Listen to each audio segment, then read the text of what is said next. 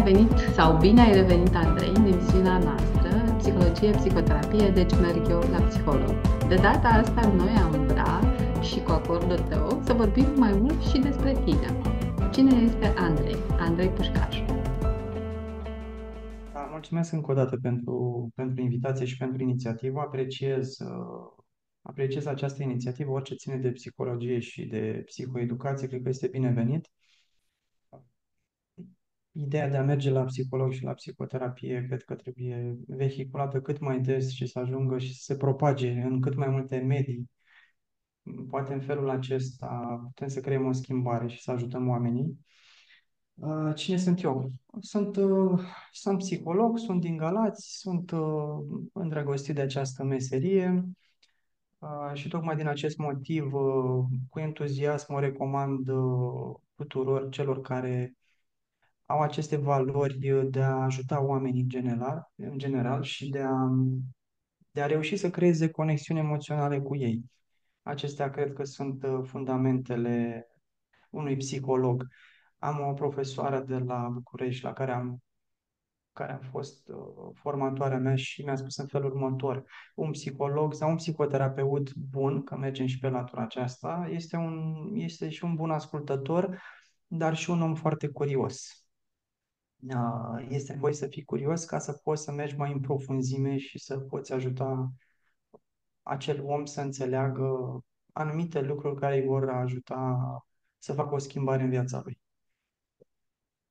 Da, acum, practic, ești într-o lume în care sunt foarte multe femei ca psiholog și femeile au calitatea asta de a empatică, de a asculta, de a conține uh, pe celălalt. Uh, cum ești tu? Cum de ai ales tu profesia asta? Ce te-a, cum se Da. zice, care a fost triggerul sau punctul de unde ai început și ce te-a atras? Da, este într-adevăr o lume în care sunt mai multe colege decât colegi. Uh, Nu știu statistica exactă, dar așa, de asta, de la această părere sunt și eu. Um, Cum de am ales această profesie? Da, cred că a pornit chiar de prin adolescență. Aveam uh, tendința să ascult foarte mult prietenii care se aflau mereu în, în necaz sau aveau probleme amoroase și mereu apelau la mine că eram un bun ascultător și uh, se simțeau în siguranță atunci când uh, discutau cu mine. Cred că din acele momente a început să se lege lucrurile și să capete sens. Cam de atunci probabil a pornit uh, toată, toată decizia asta de a merge în lumea asta a psihologiei. Recunosc că în Galați uh, nu era o profesie atât de cunoscută, pentru că nu am avut uh, profil de psihologie aici în oraș până de prin 2017, când la Universitatea de Anuvir s-a deschis profilul uh, psihologie și am auzit că vor deschide și un master uh, în curând, ceea ce mă bucur foarte mult. I-am promovat de fiecare dată când uh, a fost necesar și au răspuns mereu la apelul meu de a aduce și pe planul ăsta din Galați uh, psihologia. De fiecare dată când am ocazia vreau să promovez orașul și să solicit chiar și asociațiilor de formare sau cei care țin cursuri pe psihologie să vină în Galați, dacă se uită acum, vă rog să veniți și în Galați.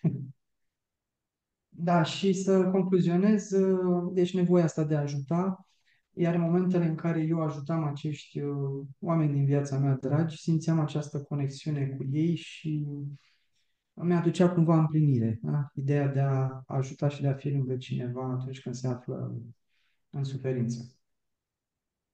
Da, interesant. Deci, practic, aici ceea ce îmi spui tu este că să, să vezi ce ți se potrivește și tu ești o persoană care ești un uh, bun ascultător și asta i-a atras pe cei din jurul tău să se, să se deschidă față de tine și asta te ajută și acum în relație cu clienții pe care tu îi ai. Da, asta ne ajută cu siguranță atunci când uh, primim oameni care își pun uh, sufletul în sarcina noastră și ne dau încrederea să-i ajutăm și să-i ghidăm pe drumul lor spre uh, vindecare, deși vindecarea e un cuvânt destul de mare. Da, dar um, cred că vine în primul rând pentru câteodată pentru ventilarea emoțiilor, știi că se zice să te descarci, dar și după aceea poate în momente în care ai nevoie și de vindecare, vine și momentul și pentru vindecare, știi? Da. Um, și cum a fost pentru tine experiența asta de, în primul rând, de a, de a face primul pas? Eu, la momentul în care am făcut facultatea, eh, erau vreo 40 de persoane, dintre care cred că dacă de-abia erau vreo 5-7 băieți. Cum te-ai descurcat într-o lume a femeilor? Da, în grupa mea de la facultate, dacă tot uh, vorbim acum și te-ai dezvăluit pe, pe tema asta și tu, uh, încerc să-mi aduc aminte câți colegi eram. Cred că trei sau patru, da, am fost patru și am rămas trei la final și am absolvit. Da, în grupa noastră tot așa au fost puțini uh, colegi. Și atunci mi-am dat seama, da, este o lume a femeilor într-adevăr, dar uh, cu atât mai bine din punctul meu de vedere, pentru că uh, sunt niște persoane foarte empatice de la care putem să învățăm foarte multe și așa a și fost întreaga experiență din facultate. Am învățat foarte mult de la colegile mele și chiar am ținut legătura cu foarte multe dintre ele. Chiar uh, zilele acestea am interacționat cu o fostă colegă de, de facultate. Mi-a adus aminte acum de, de acea perioadă și mi-aduc aminte cu drag de fiecare dată. Și cum a fost, uh, înțeleg că ai făcut în București, nu? Nu în Galați. Nu, în Galați am făcut facultatea, Da? la Universitatea Danubius din Galați. Am dat A, licența în București. Mhm, aha, am înțeles. Deci, practic, în, uh, ai finalizat acolo. Um, și cum ai făcut primul pas de a și rămâne în profesie? Pentru că tu știi foarte bine că în momentul în care termină facultatea de psihologie, cei mai mulți aleg, uh, printre care și eu, să zicem, am ales altă profesie inițial uh, și nu cea de psiholog. Da, e, e o profesie a maturității și uh, consider că cei care intră în profesia asta, uh, pe lângă abilitățile despre care am vorbit de ascultare și de și curiozitatea și nevoia de a ajuta, cred că este și o profesie a maturității și nu toți suntem pregătiți să o îmbrățișăm încă de la început, încă de la 20 și ceva de ani, cum termină de obicei uh, facultatea. Mulți colegi de-ai mei uh, se află la a doua facultate, adică psihologia a fost a doua facultate cumva s-au regăsit uh, în acea profesie mai târziu, eu știu, de la, pe la 30 plus. Și atunci uh, au considerat că sunt pregătiți pentru asta. Că um, e nevoie să fim într-un anumit stadiu al vieții în care să fim bine cu noi și uh, de-abia atunci putem să, să ajutăm. Și e nevoie și de o experiență de viață care să ne ajute să înțelegem cât, cât mai mulți oameni care vin din diferite categorii sociale. Mhm. Bine zis. Bun. Um, deci, ai avut curajul de a rămâne în continuare în profesie. Înțeleg că tu, asta a fost prima ta facultate, nu? Ai zis. Nu, a fost a doua. Prima a fost facultatea de drept, deci nu a fost prima. Și chiar și cazul meu este același. Nu am Am înțeles. pornit cu facultatea de drept și apoi am ajuns și la facultatea de, de psihologie. Mhm. Uh, Din mai multe motive. Nici nu era profilul în Galați uh, uh, și partea financiară, pentru că dacă te duceai la București, trebuiau părinții să te ajute financiar, să te sprijine în acea direcție și uh, nu toată lumea avea posibilitatea la acea vreme când am început uh, prima facultate. Mhm. Am înțeles. A, Acum a, mi se conturează mai bine puțin a, imaginea pe care o aveam eu în, în cap și ceea ce ai zis tu apropo de a, e o etapă a maturității, alegerea asta de a fi psiholog, într-adevăr, și de a și practica, pentru că ai nevoie de o anumită experiență de viață.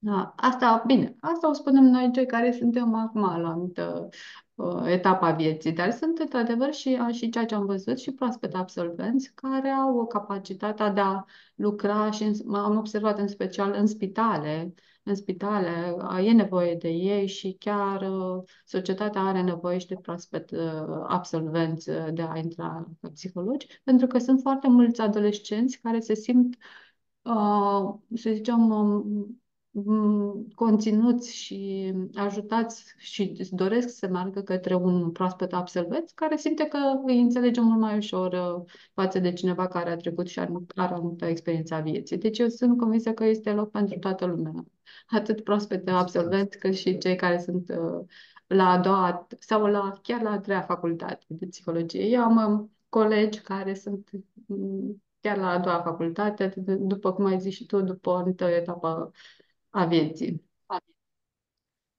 Um, Da. bun. Um, știm cu toții că viața unui psiholog e considerată o viață zen. Sau cel puțin așa există o percepție. Cum mai zi, ce, ce, cum ai descrie tu viața ta? Este o viață zen? Trăiești, tot timpul faci meditații ca să te poți echilibra? Sau cum e viața ta?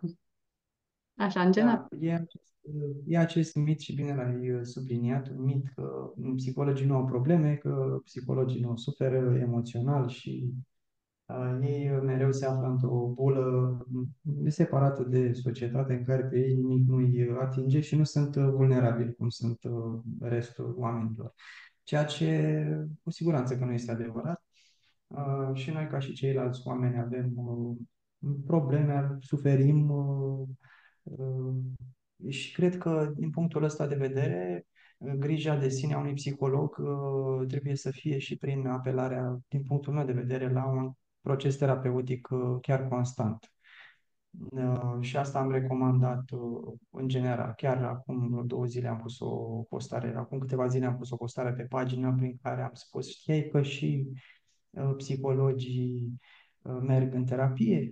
Toată lumea sau majoritatea oamenilor au nevoie de suport emoțional.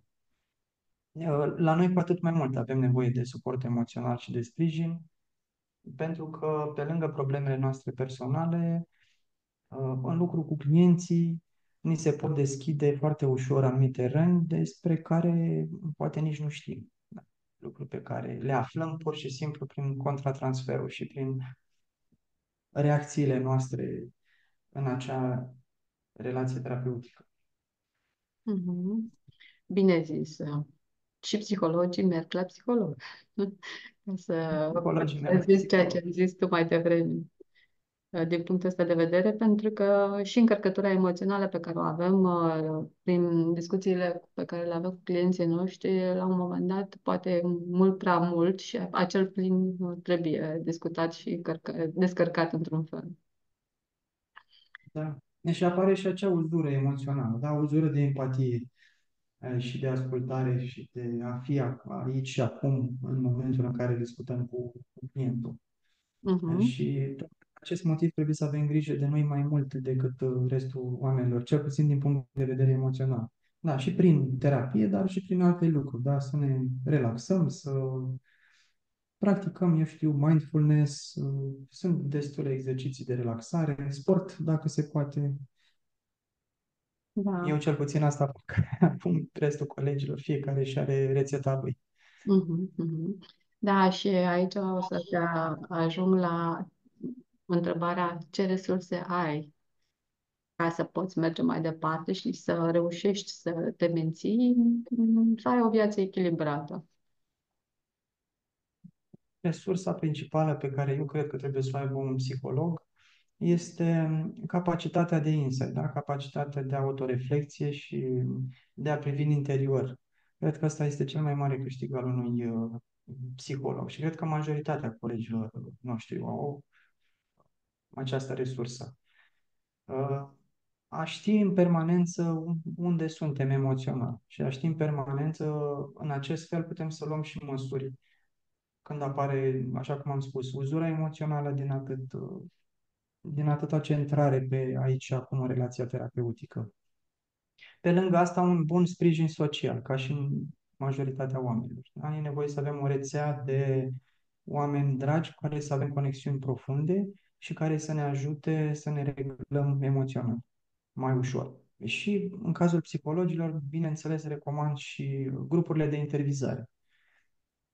Da, să facă parte din grupuri de intervizare, adică niște grupuri de alți psihologi care să se sprijine reciproc în permanență. Și dacă e cazul, bineînțeles, un supervizor, atunci când suntem depășiți de, de situații.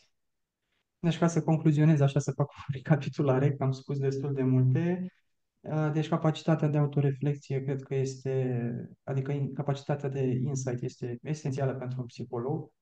Uh, Grupurile de intervizare, un supervizor și procesul uh, terapeutic personal. Și, bineînțeles, un grup uh, social de sprijin, adică format din persoane dragi, prieteni, rude, așa mai departe. Da.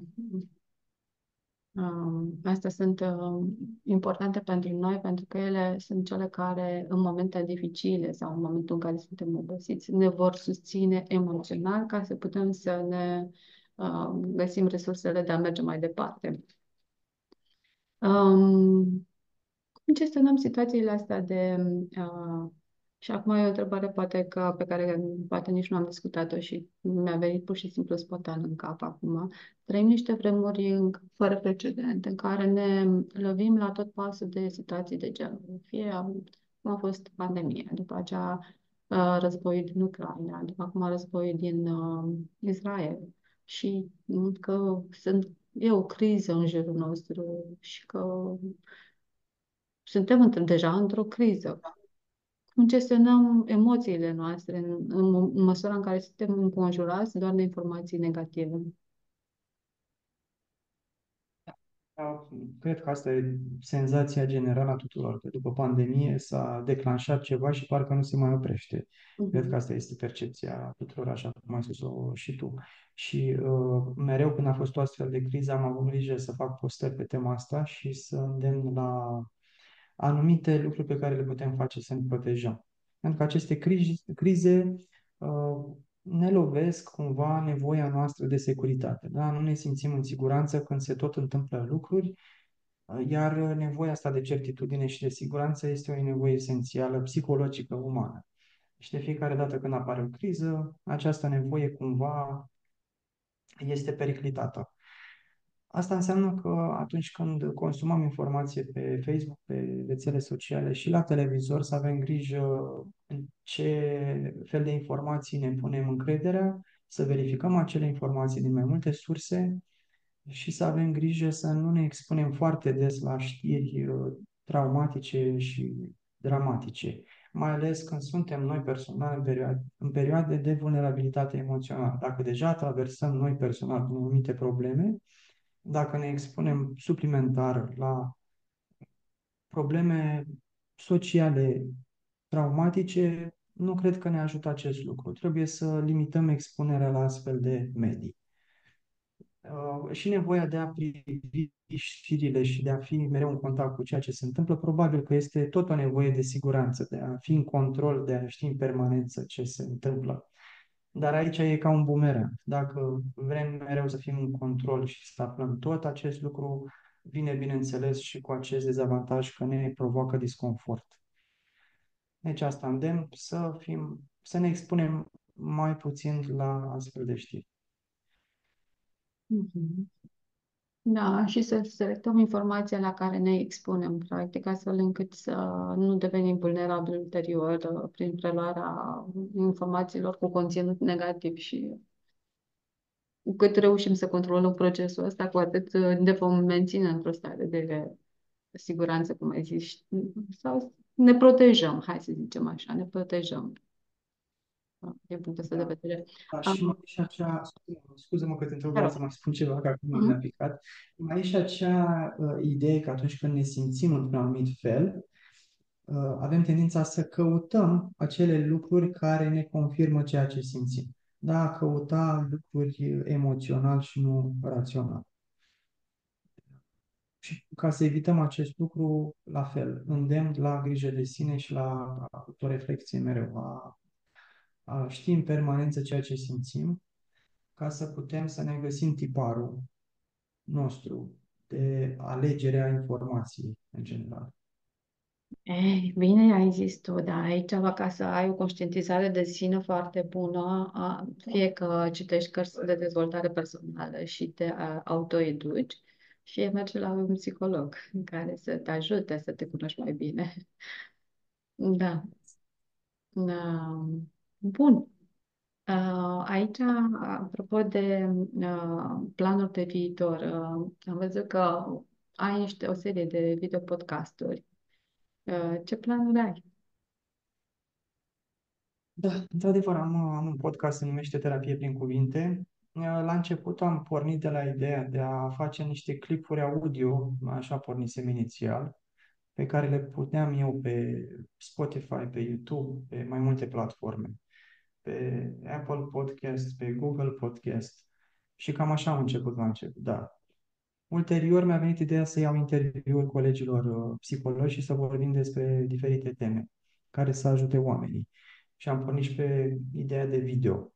M-am gândit că lumea vrea să ne vadă cum arătăm, nu vor să ne audă doar vocea. Și cred că a ajutat uh, lumea să ne cunoască și pe noi mai bine în felul acesta și să ne dea încredere mai multă decât unei voci. Cred că și video ajută mult în sensul ăsta. Iar ca și planuri pe viitor vis-a-vis de acest podcast, îmi doresc să le continui episoadele și anul viitor. Acum am început uh, un nou format de podcast în trei uh, colegi, adică eu sunt cel care ține interviul și mai sunt încă doi colegi uh, invitați. Momentan doar pe partea asta de Zoom, pentru că majoritatea psihologilor pe care îi cunosc și cu care am o relație bună sunt din București. Eu fiind din Galați, mai greu să ne găsim în formatul respectiv. Dar uite că mă duc în, uh, acum la sfârșitul în curând, în următoarele săptămâni în București și poate o să reușesc să filmez și un episod efectiv în care noi suntem în aceeași uh, cameră, eu și cele două colegele mele, care în momentul ăsta avem podcast, adică Emma Jaga și Florina Stancu Dribel. Mm-hmm. Bun, ne apropiem de final și aș vrea să-ți mulțumesc în primul rând pentru faptul că ai acceptat să discutăm despre tine și dacă mai vrei tu să mai adaugi ceva la final. Um, mulțumesc și eu încă o dată pentru invitație și pentru oportunitatea de a vorbi în acest cadru. Uh, vreau ca o ultimă precizare, așa, uh, celor care vor să aleagă psihologia pe uh, viitor și care poate sunt la început de drum, să le recomand să meargă într-un proces terapeutic personal înainte de a începe efectiv meseria aceasta. Din mai multe considerente și pentru autocunoaștere, dar și pentru a alege acea ramură a psihologiei care li se potrivește mai bine și unde ar putea să facă bine. Mm-hmm.